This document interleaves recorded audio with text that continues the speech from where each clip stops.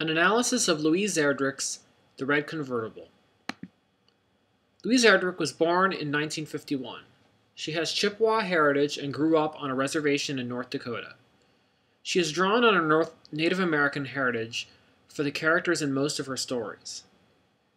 She seeks to reflect the kind of characters who are rarely written about, often existing between two cultures. Her most famous book is entitled Love Medicine. It includes a number of interconnected short stories that take place on a North Dakota reservation. The Red Convertible is a selection from Love Medicine.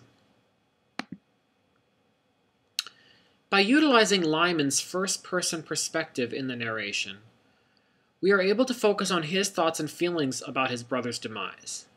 If this story had been told from a third person perspective, the reader's attention would likely have focused primarily on Henry. By choosing this point of view, this becomes a story about how Lyman changes as a person.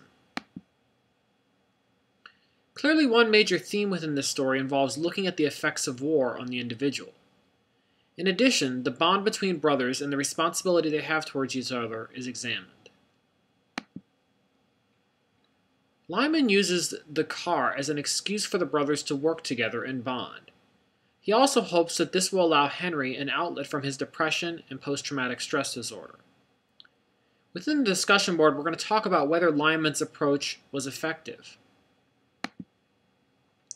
It's important to recognize that Henry clearly chooses to die at the end of the story. He has made an effort in saying goodbye and giving away his things. He goes swimming with his boots on, and he doesn't fight the current.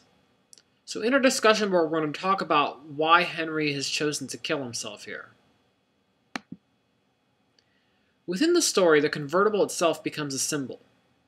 We're going to discuss what, the, what it symbolizes to Lyman, what it might symbolize to Henry, and then discuss why Lyman pushes the car in, into the river at the end of the story.